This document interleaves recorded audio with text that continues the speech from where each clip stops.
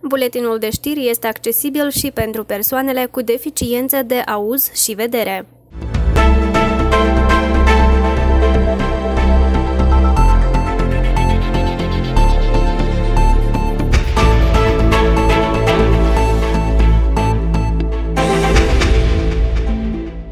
Doamnelor, domnilor, bine v-am găsit la buletinul de știri. Vom dormi cu o oră mai mult în noapte de sâmbătă spre duminică, vom da ceasul cu o oră în urmă. Să vedem uh, cum influențează trecerea la ora de iarnă locuitorii orașului Droichea.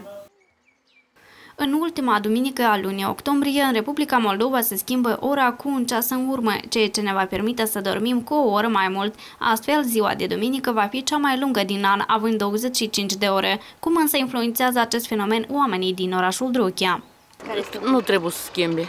Greu mă scol, mă... Așa cum este, așa trebuie și bă. Sunt niște ritmuri ale vieții care nu trebuie schimbate. A schimba, în primul rând, în plan economic, sunt probabil și de acea schimbare, dar în modul de viață omului, influența este aș spune nu chiar pozitive.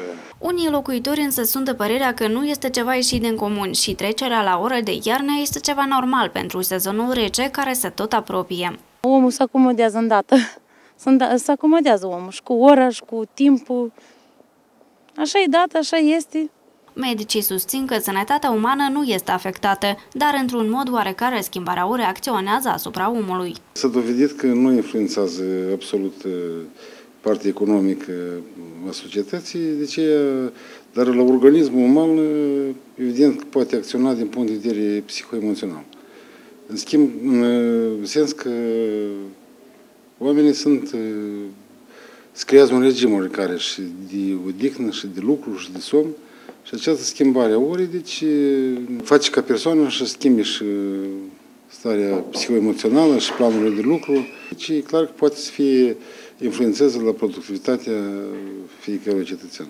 Ora de iarnă este ora oficială a oricărui stat de pe glob, ora de vară fiind cea vinovată pentru dereglarea ceasurilor, motivul fiind acela de a economisi energie electrică necesară pentru iluminatul public și privat, prin folosire eficientă a luminii soarelui. Astfel, când trecem la ora de iarnă, revenim practic la ora oficială. În Republica Moldova, acest sistem a fost instaurat în anul 1932. Victoria Conia, Ion Falca, TV Droichia. Cea mai vârstnică femeie din raionul Droichia și-a sărbătorit cea a 104-a zi de naștere. Cum a fost sărbătorită această zi specială pentru ea, aflați din reportajul următor. Mulți ani! Mulți ani! Vieți surprize! Vezi, cupule! 104 ani au trecut de parcă o zi, așa spune mătușa Neonela Roghean din satul Hăsnășenii, Mare Raionul Druchie, care și-a sărbătorit recent ziua de naștere. Este în vârstă, îi vine tot mai greu să se deplaseze, însă nu o împiedică să o facă. Îi place mișcarea pentru că e viață. Este o femeie fenomen, deoarece am surprins-o și dansând. Așa am jucat cu cei bătrâni să gânească. Și eu, și am că Mă scol să vă joc o leacă.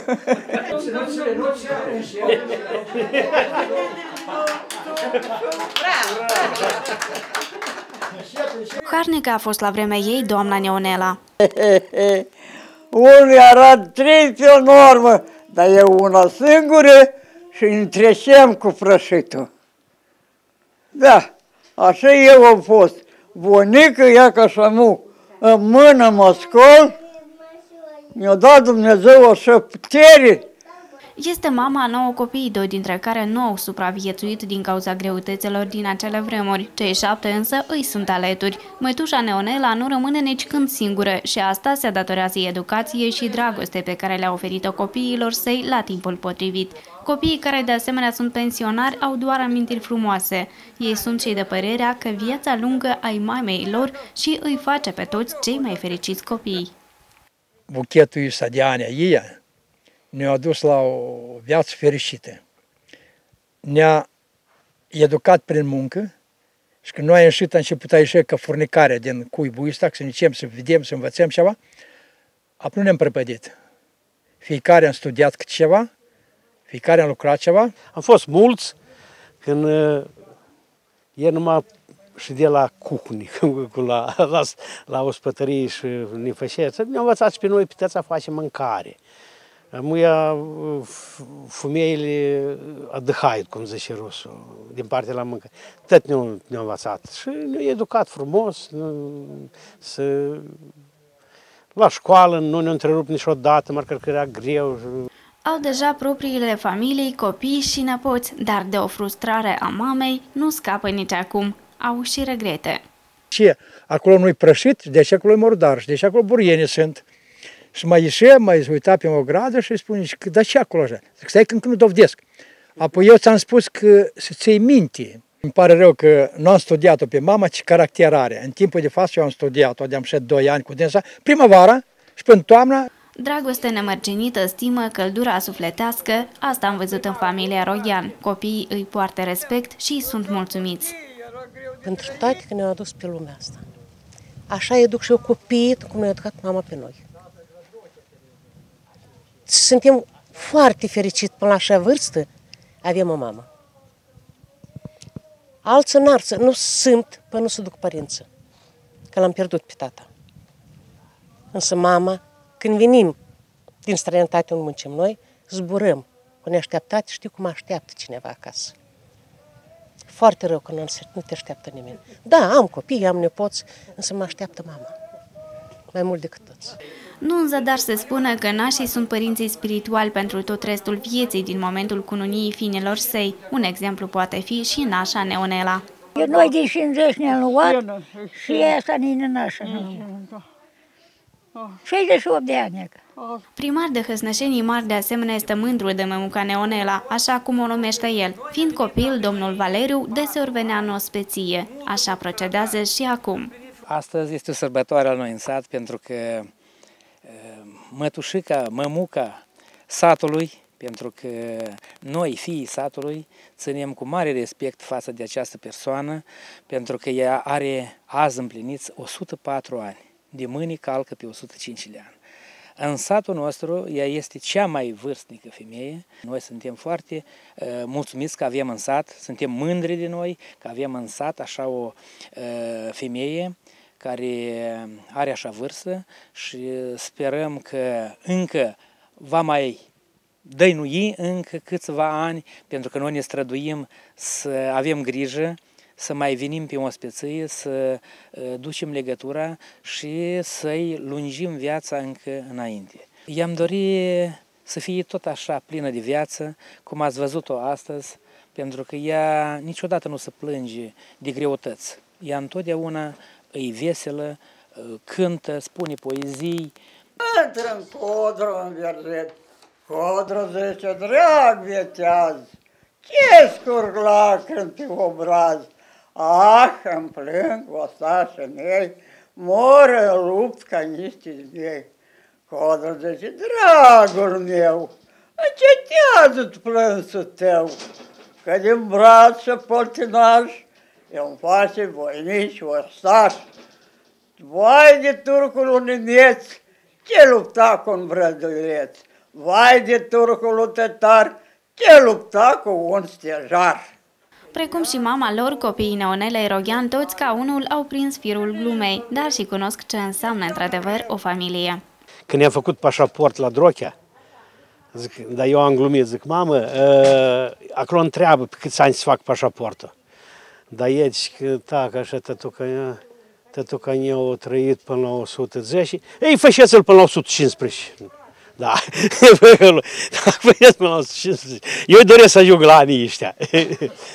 Neonela Roghean s-a născut în anul 1914. A adus pe lume 9 copii, doi dintre care nu au supraviețuit. Mătușa Neonela este bunică fericită a 16 nepoți, 16 strănepoți și 2 stră-strănepoți. Este o femeie împlinită și se poate mândri de o familie frumoasă și unită. În satul Căsnășenii Mari, raionul Druchia, mai locuiesc 10 persoane cu vârsta cuprinsă între 80 și 95 de ani. Neonela Roghean fiind cea mai vârstnică persoană atât din localitate cât din întregul raion Drochia.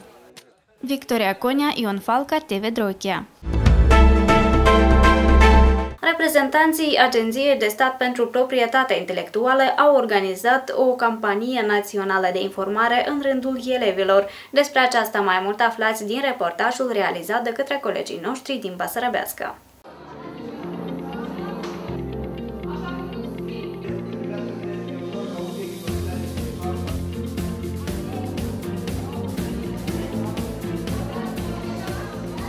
Eu mă numesc Andrei Moisei și împreună cu colegii reprezentăm Agenția de Stat pentru Proprietate Intelectuală. Ne-am pus ca scop să realizăm campania respectivă în toate liceile din Republica Moldova. De fapt, acele care s-au oferit să participe, este realizat în comun cu Ministerul Educației și este o campanie foarte utilă pentru copii, fiindcă noi le vorbim nu doar despre fenomenul pirateriei și contrafacerii care sunt foarte periculoase și care, într-adevăr, pun în pericol economia și nu numai economia națională, dar și sănătatea copiilor. Dar le vorbim și despre proprietatea intelectuală, despre obiectele de proprietate intelectuală, despre rezultatele creativității, fiindcă ei sunt creativi și trebuie să știe lucrurile astea. Contrafacerea e un fenomen care afectează producătorii și pune în pericol sănătatea și viața consumatorilor. De aceea, ar trebui să fim mai atenți la preț, ambalaj și alte detalii ce ar confirma originalitatea produsului. Stop contrafacerea!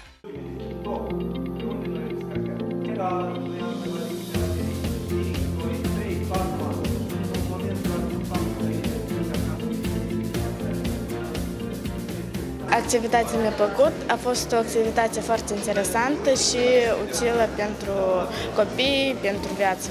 Mie din această prezentare mi-a plăcut uh, cel mai mult că ne-a învățat după cum să cunoaște ce este bun și ce este contrafăcut.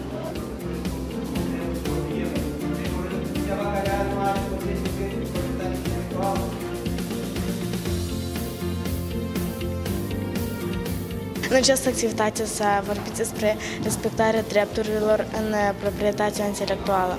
Eu cred că această activitate a fost utilă nu numai pentru elevi, dar și pentru noi. Nu putem să fim noi cei care știm ce este într-adevăr înăuntru. Noi e, suntem mulțumiți pentru faptul că am reușit să venim cu un mesaj e, la copii și eu e, rămân cu speranța că ei au memorizat măcar cât de cât, că eu să mai discut între dânsi și eu și o să rămână undeva, o să rămână informația despre aceste două fenomene și nu numai despre fenomenele contrafacerea și pirateria, și despre obiectele de proprietate intelectuală și despre rolul ACP-ului care îl are în, în contextul înregistrării acestor obiecte.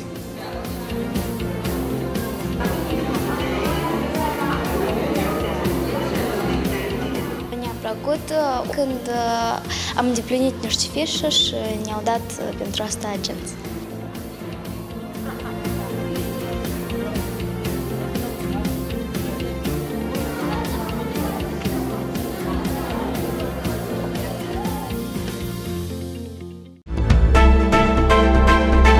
Poliția Națională a Spaniei a reținut o navă care transporta 1,4 tone de cocaină în apropierea insulelor Canare. Nava sub steagul Moldovei a ajuns pe țărmurile regatului din Turcia, prin America de Sud. În timpul operațiunii comune a colaboratorilor de poliție și a flotei marine militare spaniole au fost reținuți 10 membri ai echipajului, printre care s-au dovedit a fi cetățeni ai Ucrainei, Georgiei, Bulgariei și Republicii Turcia. În anul 2017, autoritățile spaniole au confiscat aproximativ 477 de tone de droguri, inclusiv 30,89 tone de cocaină, 440 kg de heroină, 16,5 tone și 816 de plante de marihuana, ceea ce este cu 30% mai mult decât în anul 2016, relatează RIA Novosti. Anterior, Newsru a comunicat că la câteva zile după legalizarea marihuanei recreaționale în Canada, magazinele de specialitate au rămas aproape fără bunuri. Pentru a rezolva problema cu fumătorii care nu au putut cumpăra cannabis, proprietarii punctelor de vânzare au fost nevoiți să-i cheme pe colaboratorii de poliție.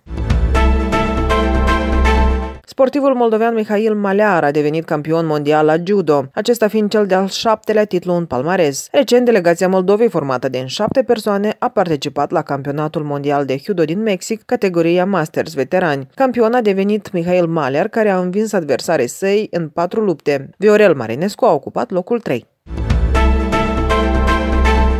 Doamnelor, domnilor, aici închem știrile. Vă mulțumim pentru atenție. Sunt Victoria Conea. Rămâneți cu TV Droichea. Acesta a fost buletinul de știri care a fost accesibil și pentru persoanele cu deficiențe de auz și vedere.